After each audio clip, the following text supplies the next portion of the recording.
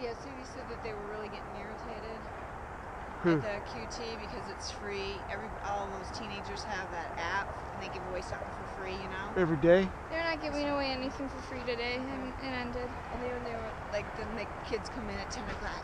Who's wanted a pretzel? Whose pretzel is this? Because they get all pissed because they do it all day long because it's free. Why do they do that? Is it just a QT thing? I don't know, because man, they're not very open business. They have good hot food there. Do they? Yeah, if you guys want wanting to get a snack after this. It's cheap too.